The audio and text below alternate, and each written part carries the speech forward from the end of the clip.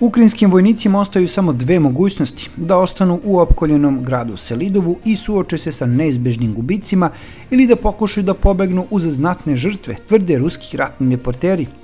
Ruske oružene snage napreduju prema Selidovu, a vojni bloger Juri Podoljaka predviđa da ukrajinske snage neće moći dugo da zadrže kontrolu nad gradom.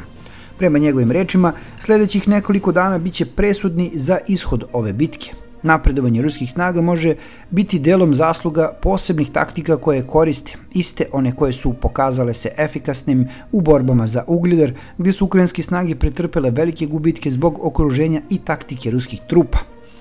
Rožin je dodatno pojasnio da ruska vojska izbegava direktan napad na Selidovo, fokusirajući se na opkoljavanje sa boka, što je taktika koja je uspešno primenjena i u Ugljedaru.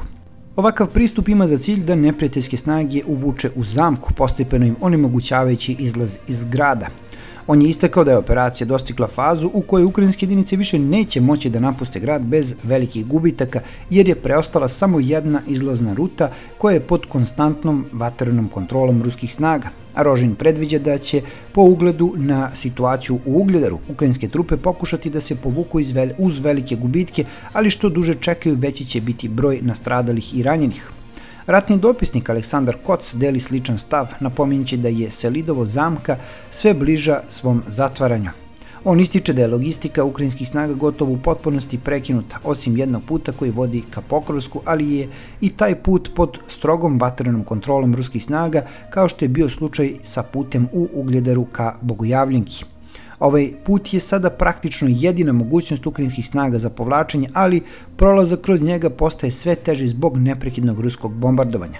Još 9. oktobra zapadni analitičari su upozoravali na formiranje opkoljavanja u oblasti Selidova, a u intervju za New York Times vojni analitičar Pasi Paravininen i Franz Stefan Gadi primetili su da ruske trupe koriste slične metode kao i u Ugljedaru, postepeno zatežući obrač oko ukrajinskih odbranbenih formacija – Prema njihovim rečima, ruske snage sve više primenjuju taktiku opkoljavanja kako bi natarale ukrajinske trupe na povlačenje.